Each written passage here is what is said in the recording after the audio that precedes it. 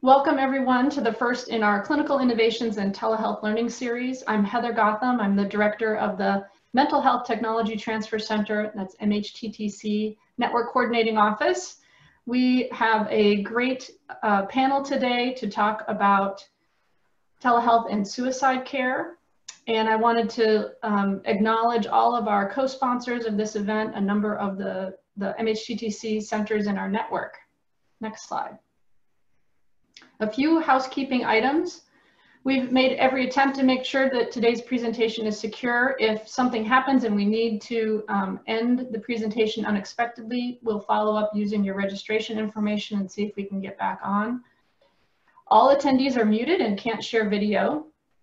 If you have a question for the presenters, please use the Q&A. So the Q&A is the place to ask questions. But if you have a comment or a link for all attendees, attendees or want to share something, use the chat. Notice that you can chat just to the panelists or to um, all attendees. So mind who you're chatting to. But if you have questions, please put those in the Q&A. Within the next few days, you'll receive an email following the presentation um, on how to access a certificate of attendance. We're only providing certificates of attendance to folks who were on for at least 30 minutes. So please note that. Um, we are recording the session and the recording and the slide deck will be posted on our website within a few days. So we will get out all the information to everyone. You can also follow us on social media. Next slide. The MHTTC network is really here to accelerate the adoption and implementation of mental health evidence-based practices. We're a SAMHSA funded network of 10 regional centers, a National American Indian and Alaska Native Center, a National Hispanic and Latino Center, and a network coordinating office. Here's our website address. Next slide. So the first thing I'd love for you to do when we get off today's meeting is to find your MHTTC, find your center. Um, here is a map of our network. Again, 10 regional centers and two national focus area centers. Um, and you can connect with your regional center and find out what services, what training and TA they're providing. Next. Just a disclaimer that the opinions expressed today are the views of the speakers and not do not reflect the official position of DHHS or SAMHSA.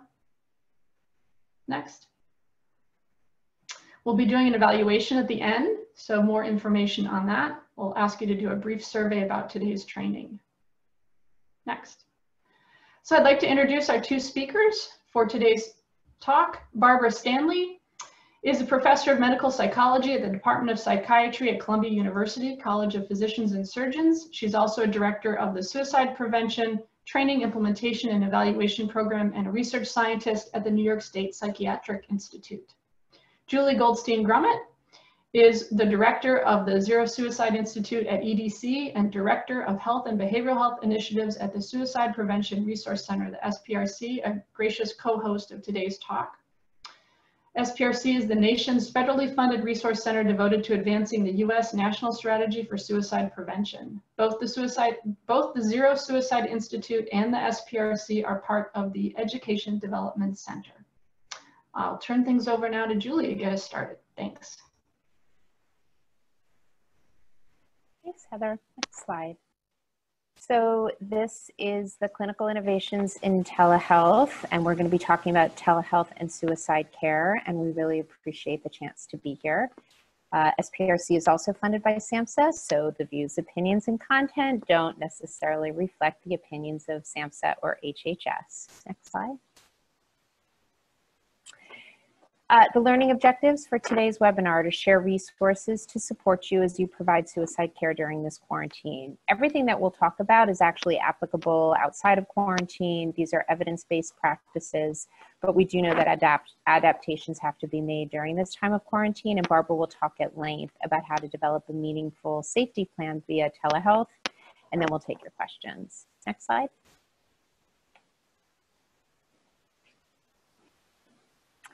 As Heather said, I'm with the Suicide Prevention Resource Center, and the SPRC is really dedicated to advancing the national strategy for suicide prevention.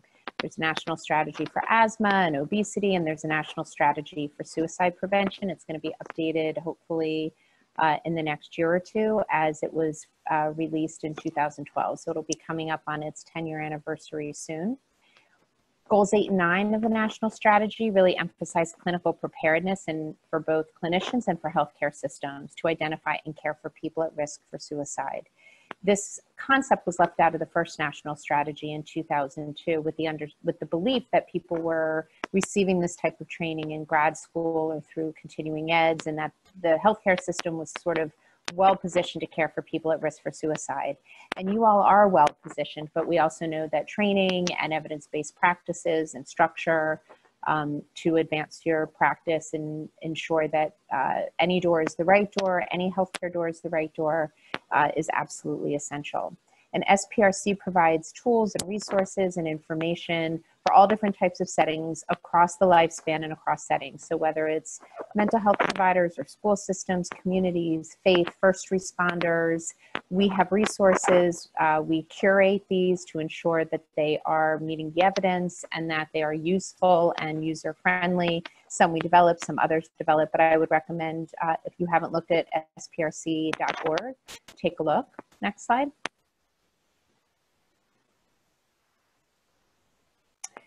And if you do go to sprc.org, one of the things you might want to do is sign up for our weekly newsletter. Uh, it includes research and funding and best practices. The other thing that you may want to sign up for is the Zero Suicide listserv. You can do that via uh, emailing zero suicide at edc.org. We have 2,000, well over 2,000 members. People are extremely gracious and generous about sharing their best practices and their templates and their thoughts and their concerns about how to best care for people at risk for suicide in healthcare systems. We know we probably won't get to all of your questions today. There's a lot of people on the call, and I've already seen a lot of great questions.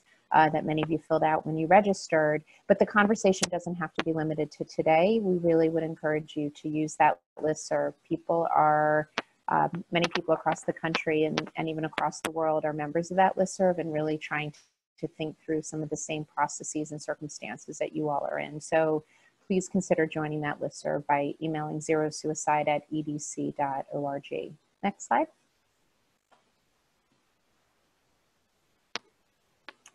And I just kind of wanted to set the stage a little bit for how the Suicide Prevention Resource Center and really the suicide prevention community thinks about suicide care. We know that suicide is multidimensional, and we know that no single intervention is going to drive down the rates of suicide. We can't just kind of pick one particular practice, stick with it, and expect that suicide is going to go down. I've been talking a little bit already about zero suicide, which is a bundle of evidence based practices that healthcare systems should use to effectively um, provide suicide care. We know it reduces suicides by about 65 to 75%. But we also know even in the community, suicide prevention requires a bundle of interventions that are sustained and that are based on your local data in terms of looking at who's at risk and what kind of strategic plans and goals you want to set for your own community. That drives what some of the interventions are. So today's presentation, Barbara's going to focus on screening and safety planning, and we're going to take your questions. And these are very critical pieces of care but I do want to lay the foundation that protecting people from suicide requires more than just that, a comprehensive approach to really how you're going to identify people, ensure that they're getting care that targets their symptoms, um, and then ensure that you're going to continue to provide care as they transition between different providers or between different uh, service settings in your community. Next slide. I'm just going to walk through a couple of resources so that you know what's available through SPRC and after today's webinar. So this is the Zero Suicide website I mentioned, zerosuicide.com. And just to reiterate, really, Zero Suicide is this comprehensive framework that if you think about the airline industry or the nuclear industry that has vision zero as their target. Zero is the only acceptable number and they do continuous quality improvement to ensure that they are, are moving towards find, zero suicides in their populations. No blame for when an adverse event occurs, but rather an opportunity to, to fix an error. And that's how we think about suicide care in healthcare systems. Uh, we want to track if we're doing screening and safety planning, we want to make sure that we're doing that with every patient, every time who's at risk for suicide, um, and track on that to and provide training of those practices. And Barbara's going to give a lot of uh, wonderful information about best practices in a moment. Next slide.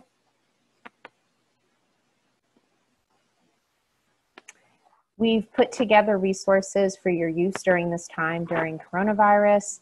Uh, the, the link is there. Included in that link is a webinar we held, the SPRC held about a month ago. Barbara was one of our speakers, where we talked about telehealth and safety planning and treatment interventions that are applicable during quarantine. If you weren't able to join the, per, the webinar live, it's archived on that link below, and I really encourage you to listen to it. We've also curated other resources made um, that you might find helpful during this time, and we're continuing to add to that. Next slide. Our colleagues with the National Action Alliance for Suicide Prevention released this document recently about care transitions. And even though it's not, um, it wasn't designed for this current environment in which we're living in the pandemic, it does really help to provide a framing for how to do patient engagement and safety during the transition from inpatient to outpatient care. There are principles I think that you can apply here and, and you know, we're happy to take questions later about some of the ways to do this via telehealth. And clearly inpatient systems are still taking, in many cases, still seeing patients at risk for suicide. So if you're not familiar with this resource, definitely encourage you to take a look. Next slide. It's a diverse audience, so I just kind of wanted to give you a little bit of the breadth of some of the resources that we have. We have a toolkit for high schools, and I think while this may not be entirely applicable right now as people head back to school in the fall, we know there's an increased risk for mental health challenges and uh, increased risk for suicide potentially. I think, as I was already talking about, sort of this comprehensive approach, the toolkit really applies that around how do high schools manage and prepare for suicide risk when a suicide does happen, you know, you want to have templates available and know what the proper steps are and how to support the entire school community. And that's the other toolkit.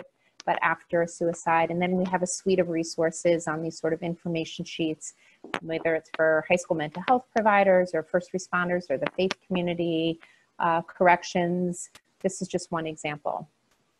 Next slide. And I wanted to share that on the SPRC pages, you can find your state suicide prevention coordinator. If you don't know them, I would strongly encourage you to reach out to them. They are a wealth of information, potentially resource sharing um, possibilities, and certainly important for them to know about work you're doing and ways that they can um, supplement and accelerate that and vice versa. So each state is listed, often with their state plan as well, where you can take a look um, as well as Garrett Lee Smith grantees, National Strategy grantees, and Zero Suicide grantees. So definitely encourage you to uh, take a look and make some linkages with other people doing great work in your, in your state and community. Next slide. And lastly, I just wanted to give you a um, set of crisis hotline numbers available in one place uh, you, I imagine, are familiar by now with the Disaster Distress Hotline and the National Suicide Prevention Lifeline, but there are a few other resources I wanted to make sure people were aware of during this time to share with families uh, and the people with whom you're working.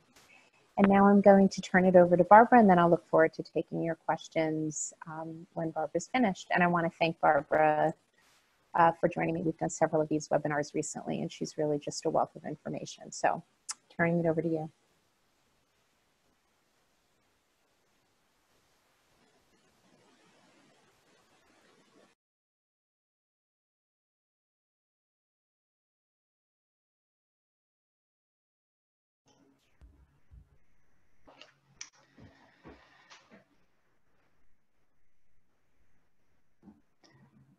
Julie, it looks like we have lost Barbara momentarily. Are you able to? Sure. Let's go ahead. Next. Next slide. So Heather introduced Barbara. Let me just see if I've heard from her. Um, next slide.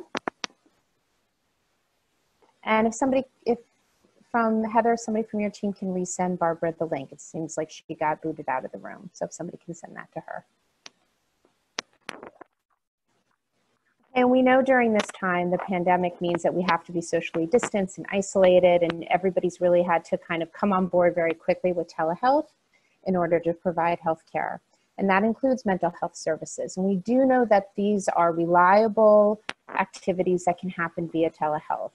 Um, I saw some questions where people were asking when they registered, is it just as effective? And the answer is we do know that it works. And in fact, some people are reporting that they like it better. It's been expanding for years, um, but individuals who are suicidal are often excluded from telehealth services. I think that's um, out of fear of liability. And now we were kind of thrust into this moment where that um, can no longer be the case. And it's really meant all of you have to think very differently. So you've had to find ways to safely work with suicidal individuals. And Barbara um, will talk at length in a moment about safety planning and how to do that. Next slide.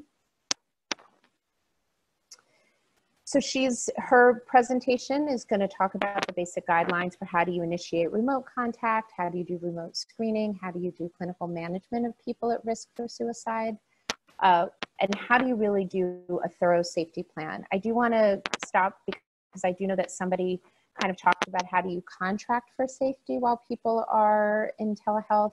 And I want to clarify that a safety plan is not the same thing as a contract for safety. Uh, once upon a time, when I was in grad school, that's what we were taught to do, and that was a while ago.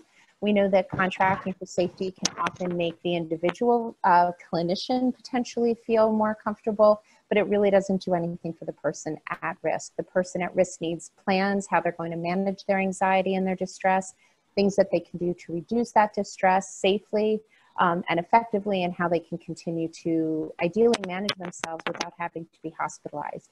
That's the purpose of a safety plan. A contract for safety is a document, but it doesn't actually bind them to anything and it doesn't teach them anything uh, with regard to being an intervention that they can build upon. So um, please don't use contracts for safety, only safety planning. And if somebody wants to let me know when Barbara's back on. I'm uh, back. Oh, well, then I'm happy to turn it over to you or keep going. Yeah. So where are you, Julie? I'm sorry, my computer just shut off, and so I'm back. Thank you. I just did the safety planning bullet and did my a 10 second PSA about don't do contracts for safety. So the last three bullets are on you. Okay. So thank you all for uh, joining today. Um, so one of the things that uh, that we've learned is really useful, uh, and it does put a burden on clinicians, but um, it avoids it can avoid having to go to the ED and um, and also um, having um, to um, to have people have hospitalization. So we can do check-ins, um, and and they can be by phone. Uh, typically or video conference and they're really good and i'll talk a little bit about how to do them uh, in a few minutes documentation like always is important and then finally um, support for yourself as a clinician is important, not just during COVID, but in general, especially as we're doing telehealth and staying home more. Um, we kind of get into a routine of just working, working, working. Um, and so it's really important to take time out for yourself um, so that you are a better clinician. Next slide. Um, so under ordinary circumstances, and um, and we know this a lot from working within New York State with a broad range of clinicians. Um, working with suicidal individuals is very anxiety producing.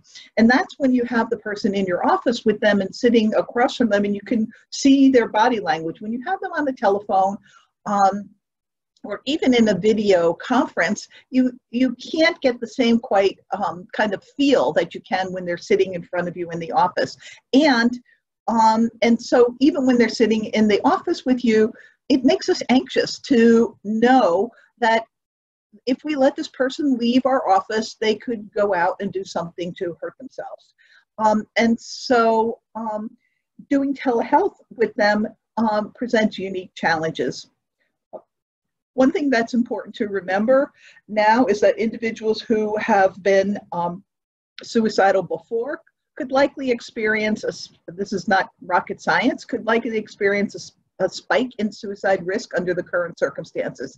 And it could be from um, I, it could be from actually any number of things during this particular crisis that we're undergoing. It could be from isolation, or it could be from uh, you know, everybody is going out and everybody is happy, and the suicidal person really doesn't have a lot of people in their lives, and so they experience a real sense of um, aloneness and loneliness.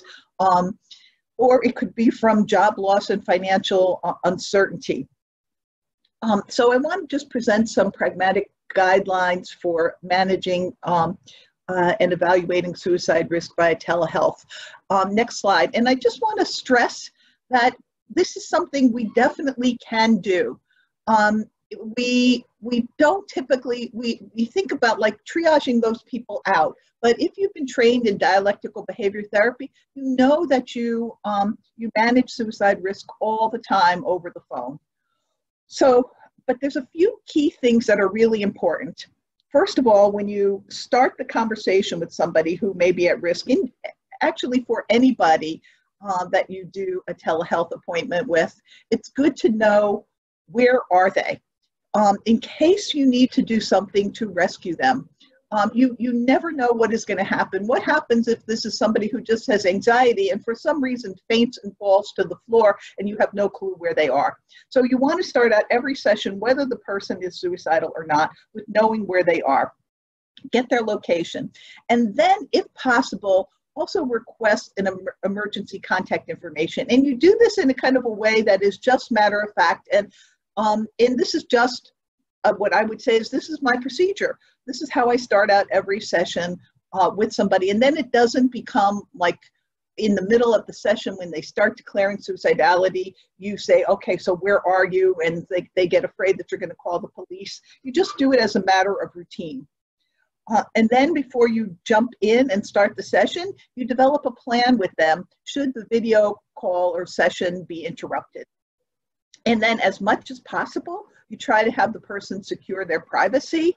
Um, and then uh, also with the person, you would want to talk with them about, um, uh, you would want to have in your mind um, how, what kind of plan you have for uh, staying on the phone in that rare circumstance where you need to arrange emergency rescue.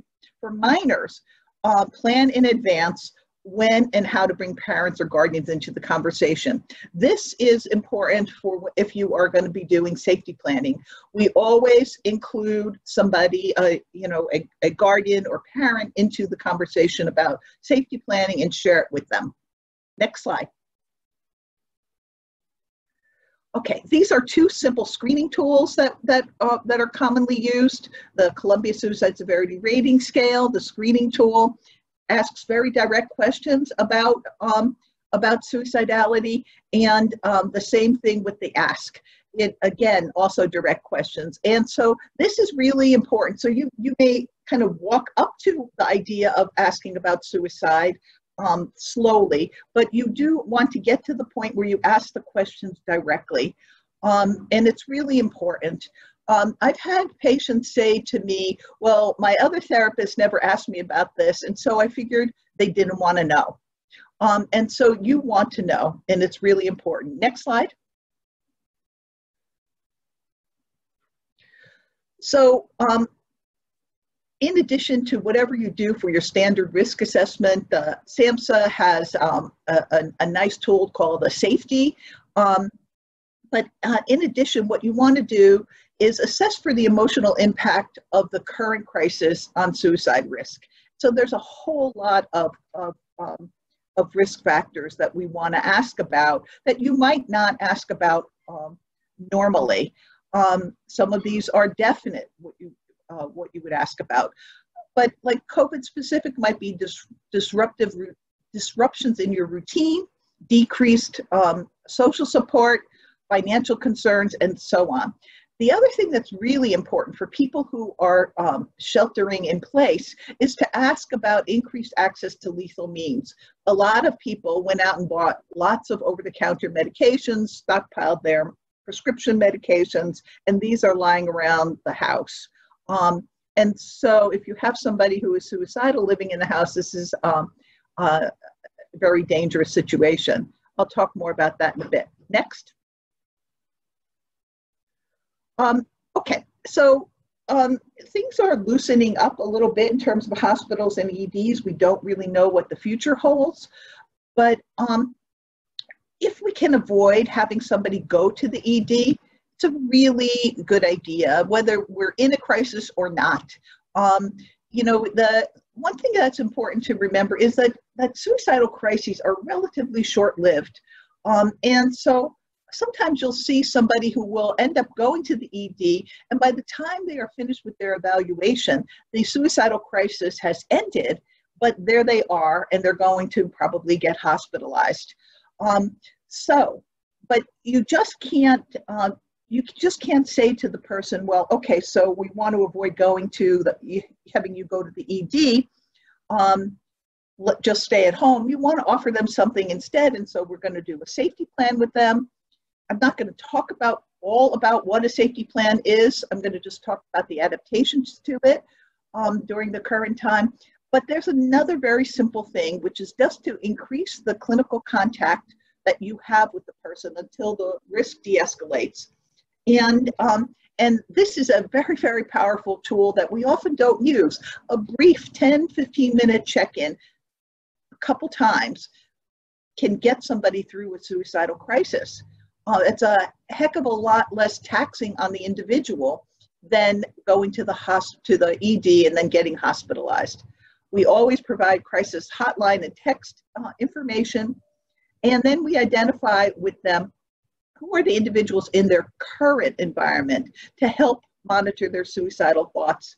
And we get permission to talk with them um, if, um, if the person uh, thinks that it would be helpful. And, um, and then let them know what are ways that they can help the suicidal person through a crisis. Um, and one thing that's important to know is that there, if somebody has been suicidal over long periods of time, they usually have their kind of go-to people who they turn to.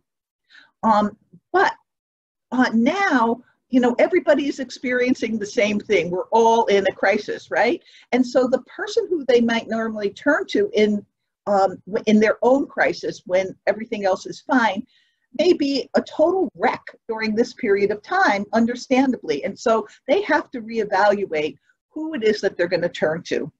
Um, there may not be anybody else, but you at least want them to take a look at that.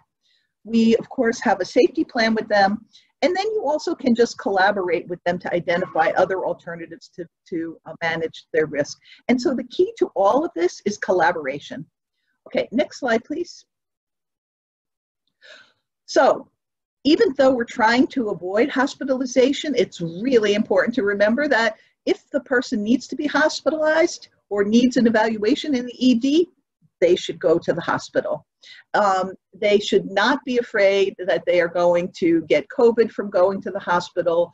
Hospitals now are very um, well protected. Um, it's um, if you look at the figures from New York State, for example, the rate of um, of COVID positivity was uh, several points lower in healthcare workers than it was in the general public in New York State. Um, so this is a, a, a safe environment um, if the person really needs to go to the hospital. Um, and so you as the clinician should try to figure out a way, this is not easy, especially if we're working at home, um, if risk is imminent, to stay on the phone if possible until the person is in the care of a professional, or at least there is a supportive person in their environment who will accompany them to the hospital. Um, next slide. Um, so this is this is not easy because um, uh, you know we we have one phone or you know one computer. So if you are working with somebody who is suicidal, it might be better to think about um, about having um, a video conference with them using your computer, and so that you have your cell phone free uh, in case you need to call a third party. Um, okay, so this is I mentioned this just um, a bit before, um, suicidal crises are actually relatively short. They do not stay constant. Um, and this is really important um, because the, the period of time where somebody who is suicidal and they may walk around the world feeling suicidal all the time, but that period of time when they are actually in danger of acting on their suicide thoughts is relatively short. And so, what we want to try to do is get them through that relatively short period of time. And, and then, of course, we work uh, with them on the kinds of things that have elevated their baseline, their risk over time, their depression, the PTSD, what are their life stressors, those things. So we don't forget about all those, but it's just important to remember that we want to kind of uh, keep in mind that this period of danger is relatively brief. And that by that period, I mean the, the place where they go from thinking about suicide to actually acting on it. For some people, it's just minutes. And that's why a safety plan comes in handy. That's why actually these brief check-ins come in handy. Um, next slide. Okay, so safety plan. This is just like when you get on a plane, which not too many of us are doing these days. Um, it, everybody knows that every single time we get on a flight, we go through what are the safety measures that um, that are important on a on a plane. And um, if I were to say to you, should the the uh, oxygen level in the cabin drop and you're traveling with a young child, who do you put the oxygen mask on first? I bet every single one of you knows uh, that you put it on yourself first, and then you put it on the um, uh, the child. And so that is the whole idea behind a safety plan. Um, you you people to have to think when they are in an emergency, which of course cabin pressure dropping in a plane is an emergency. The same thing is true when somebody is in a suicidal crisis. How clearly are we thinking if we are in the kind of state of mind um, that where we can where we are thinking of killing themselves. We are we're not good at generating solutions to what we can do instead or, or how we should proceed. Um, next slide. And so that's where safety planning comes in. This is just um, a simple brief intervention that we do with our um, uh, suicidal clients. We first help them identify what their warning signs are. This is not easy for some people because they can't figure out what got them to this place.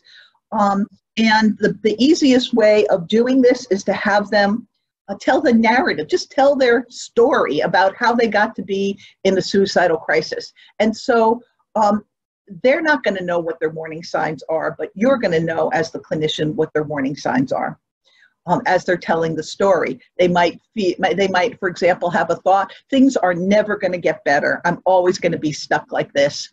That's a warning sign. Okay, so we have the warning signs. Why do we, why do we want the warning signs? We want the warning signs so that they know these are your clues that you are in a danger zone. You got to grab that safety plan and start putting it into action. And then there are just a few other steps. Um, uh, to developing a plan with people, we tell them, okay, so remember, we have done some psychoed with them. We've told them that the suicidal crisis is relatively short lived. We want to get them through that period of time when they are at risk of, um, of acting on their suicidal thoughts. This does not necessarily make suicidal thoughts go away. As Julie mentioned earlier, there's a whole lot of other things that we need to do to help suicidal people. This is simply to get them through that crisis so that then you have your client there again to work on what are the things that got them into this place. Um, and so there's simple things, internal coping strategies, very, very simple kinds of strategies that um, that we uh, have people use that are just things that they can do by themselves to take their mind off, off their problems. Again, this is just simple distracting things. It's like we want time to pass to allow two things to happen emotions to re regulate and for um, the suicidal crisis to dissipate. Because again, we don't stay in that suicidal thought forever. We use social supports in the same way that we use coping strategies for distraction um, we also use social support for help. So we have two different ways that we're using social support.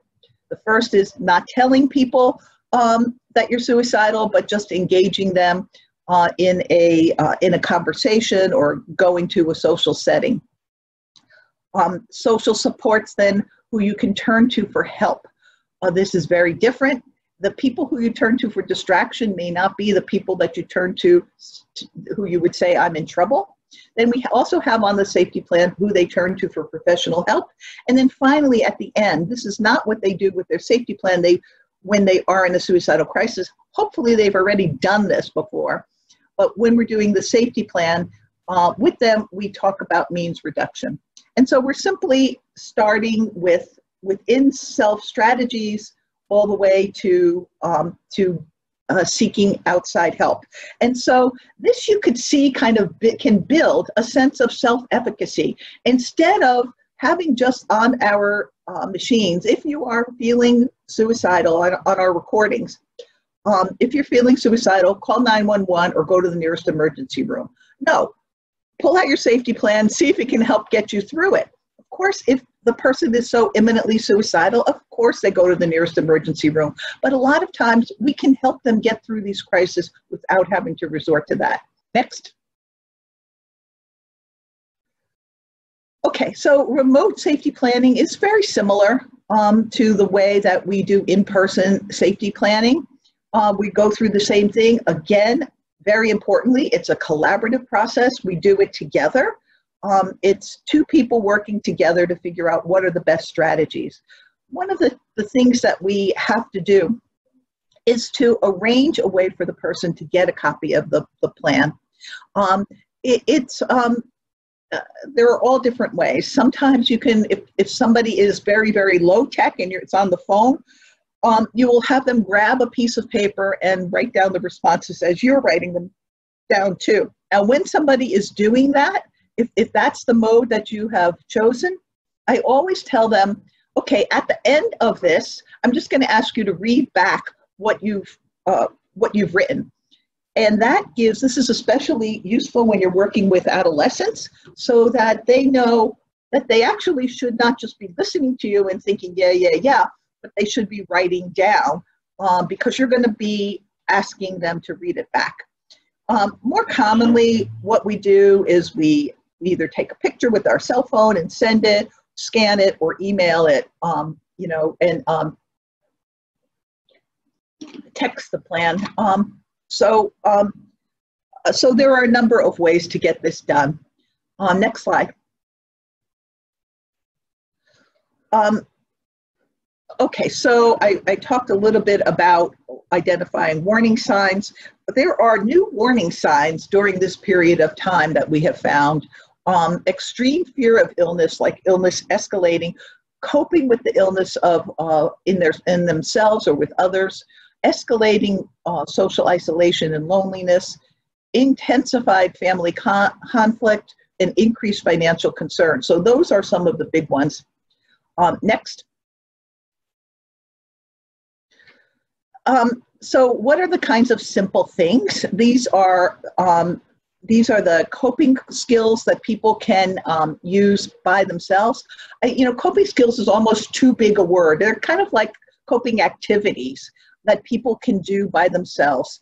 Um, and so um, we have to remember that a lot of people are still socially isolating and, and, and being careful about going out. So we want to think about things that are um, that are safe to use. So it can be like mindfulness apps, um, do an activity that changes physical state. Often your your you know your physical state will change your emotional state distracting activities are important. So it can be video games, watching certain kinds of TV programs, and so forth. Self soothing activities. Um, and um, if you know DBT, you know that this is an important part of, uh, of um, distress tolerance. And then also contributing virtually. Um, next slide. Um, okay, so in addition to having people who can distract us, for some people, they don't have um, a lot of people in their lives. Um, and so we don't want to leave a blank space on the safety plan. And so what we say is, okay, so who are the people uh, or the social places you can go to to distract yourself? So, um, uh, so often that would be when things were different going to the local coffee shop going to the library going to the gym. Um, now that is kind of uh, still limited um, and we can think about what are the kind of the virtual activities that people can do. Virtual meetup programs where an activity is taking place virtual hangouts and interactive online games and forums. And then also you know, don't forget about the current social environment, who they are living with, who can help um, as a distractor within that environment. Um, and then help them try to identify public places where it's safe for them to go. Next slide. Um, okay, I think I spoke enough about this. Um, what this is who they would um, um, would go to um, either um, in person or remotely if they say, I really need help with this. I need to tell somebody that I am in trouble. Um, it, it's useful if the client gives you permission to reach out to that person and uh, share the safety plan with them. One of the key things to know is that, you know, if you ask the person, will you share the safety plan with that individual, or will you at least let that person know they're on your safety plan? If they say no, then you need to help them think about somebody else or problem solve why they won't won't um, let that person know that they're on the safety plan. Um, and then, of course, you know, virtual contact may feel different or mean different things for different people. For some people, it's perfectly comfortable. It's more comfortable than in-person contact. Um, and um, and then be specific when um, when listing what kinds of um, adaptive options they're using. Is it a phone call? Is it texting? What are we doing? Um, how are you going to contact these people? And we try to get at least two people, preferably three people that they could turn to. Next. And then, of course, you want to identify um, the, um, the emergency contacts. That, that would be the professionals and hotline. And then you want to be really specific with the emergency room. Some emergency rooms have changed their procedures now. If, if this is somebody who you work with in an ongoing way, it'd be wonderful for your client if you could get for them in advance, know, for yourself to know in advance what are the procedures that people are, uh, what that the emergency room is following now um, before somebody comes into the hospital. Next. Okay, so this again, as I said, is really important um, because of possible changes in the learning, in the living environment. People are st stuck inside with a group of people if they're doing it right. And again, we may have um, a lot of over-the-counter and prescription medications at hand. Also, there have been a big rise in purchase of firearms.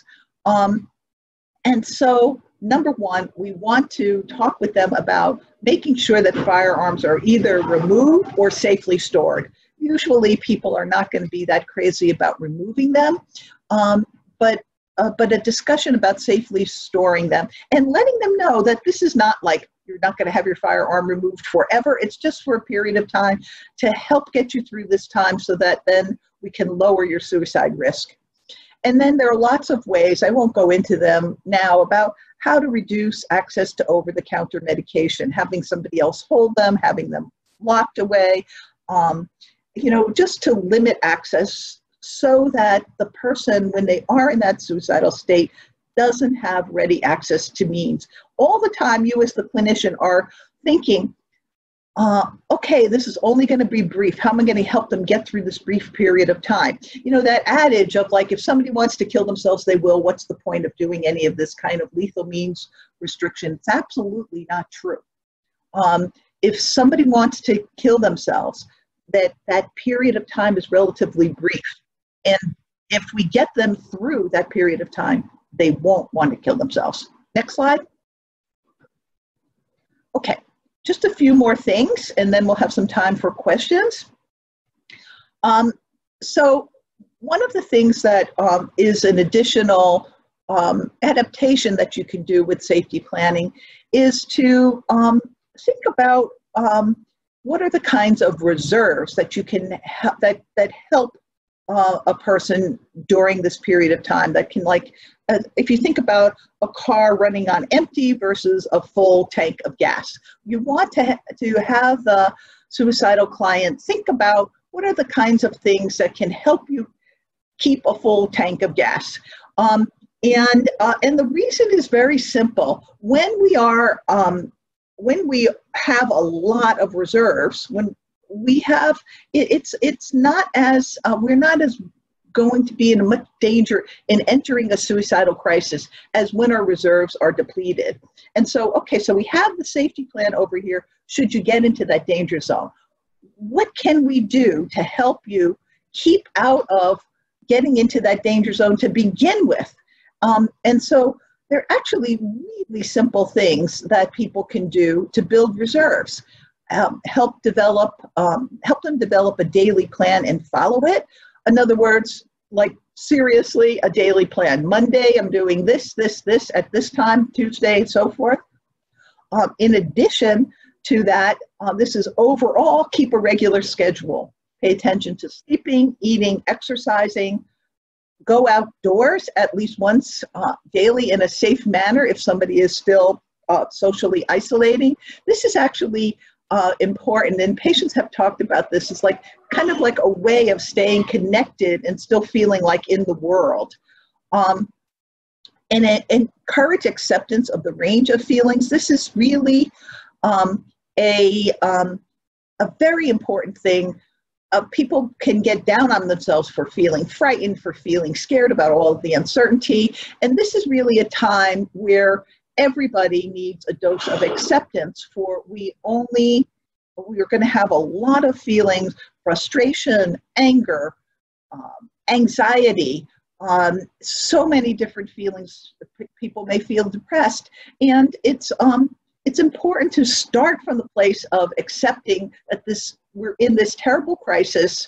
Um, how can we um, how can we get through it? In order to get to that place of how can I get through it, you have to accept first where you are. And then finally, this is an opportunity to build mastery, take on a new activity safely within the confines of your home, and, um, and encourage doing pleasurable activities. Next slide. Okay, so I'm going to just um, end by talking a little bit about check-ins and ongoing contact. So check-ins definitely, I can tell you this 100% can avoid ED visits and hospitalizations. And so I have done this in any number of ways.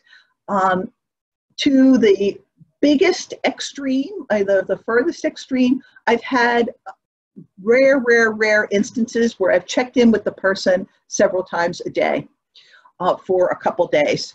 Um, more than likely, it might be a brief daily check-in, or um, if they are in a suicidal crisis, or if somebody knows they're going to be talking to you just for a brief check-in in two days, they can say, okay, I can hang on till then.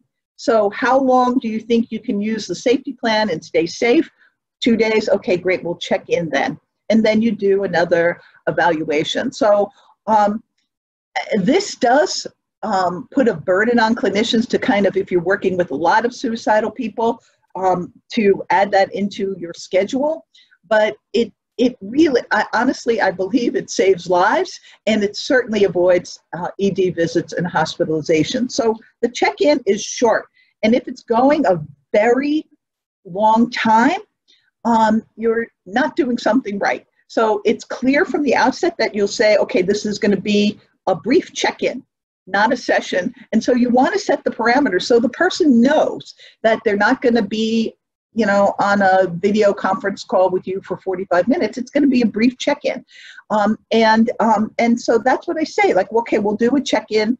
We'll see how you're doing, make a plan to help you stay safe, um, and, uh, and then move on. And so that's kind of what we do um, with the brief check-in. So we start with literally checking in about their suicidality um, review any particular changes in risk or protective factors, particularly risk factors.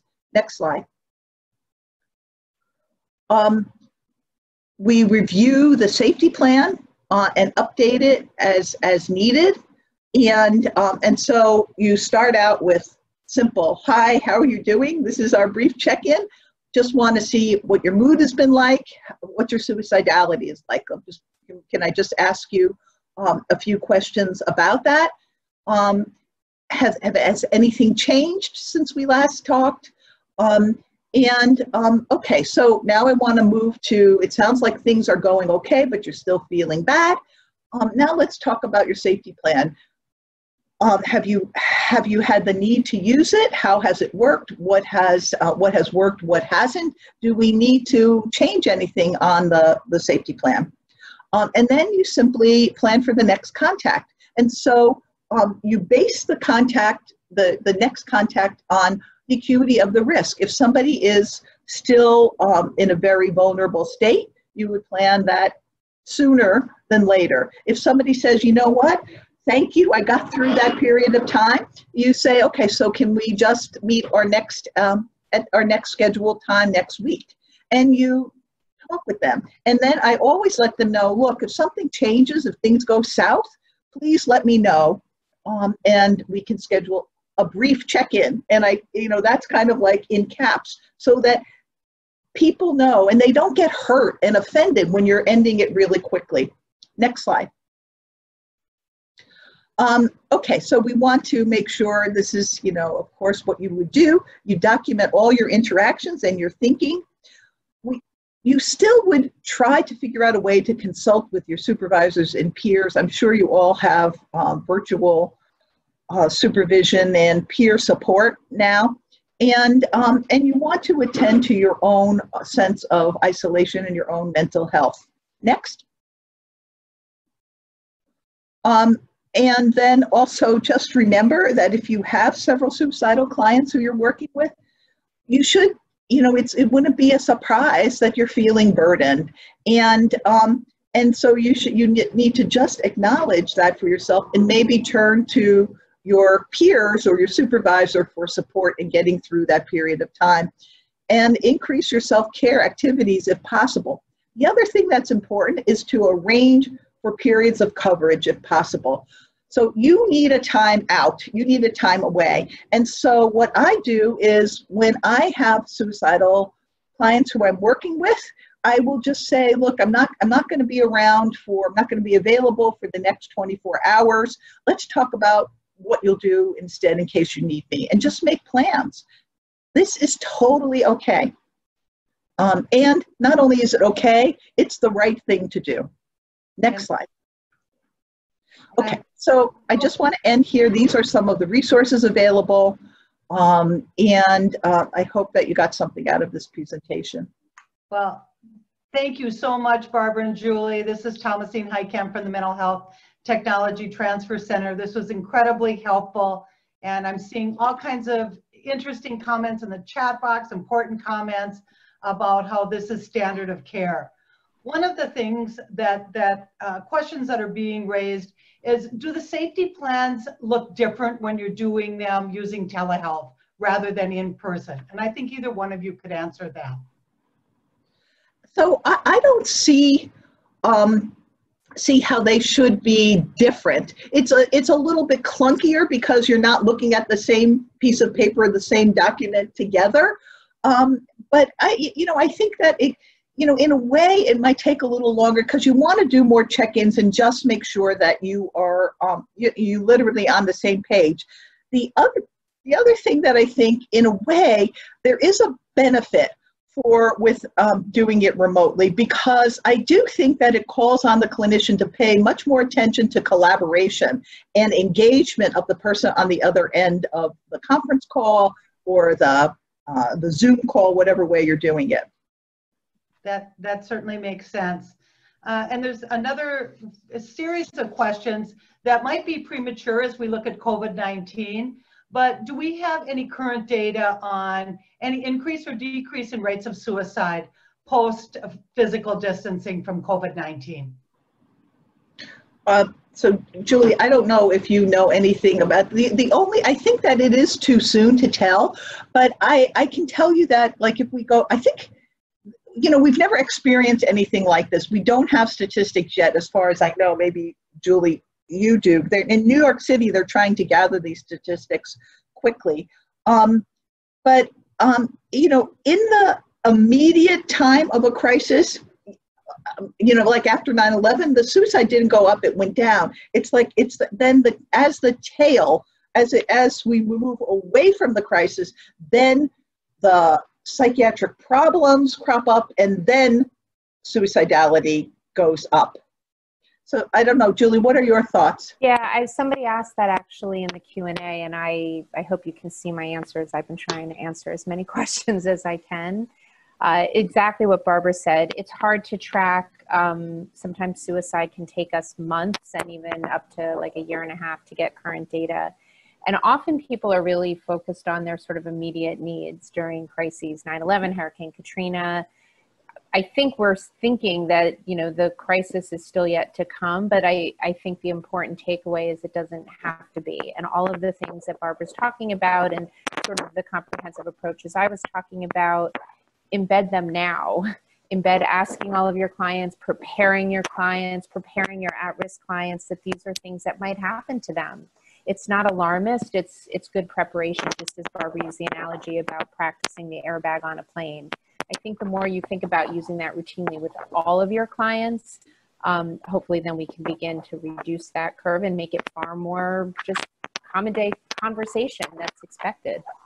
Yeah, I, I also I think that uh, one of the major differences of, uh, well there are many differences between 9-11 and now but the the financial consequences of um, of COVID it, are vast, and we know that there is um, uh, in times of unemployment that suicide does go up.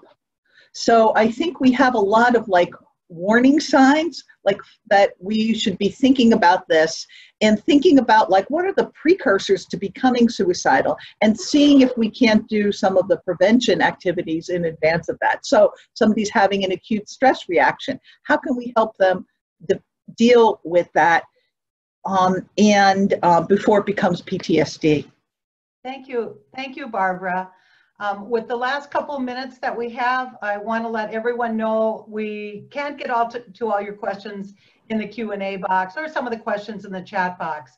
We will be preparing a document, a question and answer document following this session that will get at some of the questions. We'll provide you with some resources that talks about the capacity of telehealth and reminds you that telephones work and, and, and that's an important piece that we don't always have to think high tech and looking at some of those questions that are being asked that, that we can answer pretty seamlessly.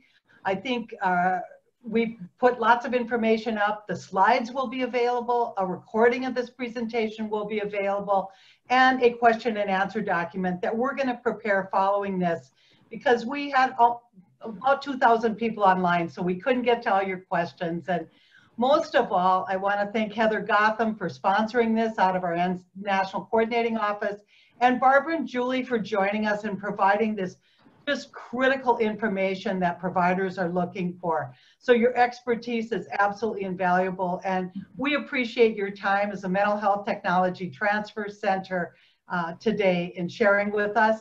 And to remind you, this is the first of, of uh, four other series, three other series so we're going to be continuing to do this on May 26th. We've had a lot of requests on cognitive behavioral therapy and how to do that in telehealth. So join us again for that session and then some cultural relevance telehealth and PTSDT, post-traumatic stress disorder. So we pick topics for you that are clinical in focus that allow you to talk about telehealth in the context of clinical. So like Barbara just shared, doing a safety plan might work better at a distance. So uh, thinking about what's working using telehealth and how we can do that best. And I see a lot of you are signing off as we're up against the hour, but again, appreciate everyone's time today, participating. It was fun to hear where you were all from. We had some international guests, so to them, a, a special shout out for joining us. I don't know what time zone you were on, but Thanks so much, everyone. And we look forward to seeing you on May 26th at the same time on cognitive behavioral. And we're going to be giving you a brief survey. This is what we're all funded by SAMHSA and the Mental Health Technology Transfer Center. So if you can complete the survey, just giving us some feedback, we can always look at ways to improve and, and ways to give our each other a high five. So appreciate your time today and uh, look forward to seeing you in on May 26th. Take care, everyone. Thank you. You bet.